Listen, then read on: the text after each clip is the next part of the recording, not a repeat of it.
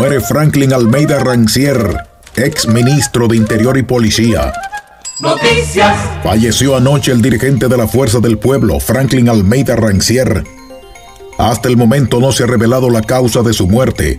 El hoy fenecido fue también rector de la Universidad Autónoma de Santo Domingo UAS de 1987 a 1990. Además, fue abogado y miembro del Comité Político del Partido de la Liberación Dominicana PLD 2006-2011. Fue ministro de Interior y Policía de la República Dominicana. Publicó varios libros como El PLD en la Transición, Figuras Jurídicas Procesales y sus Jurisprudencias, y El PLD y las Fuerzas Sociales. En el transcurso del día se ofrecerán detalles sobre sus honras fúnebres. Desde Estudio 8. Noticias.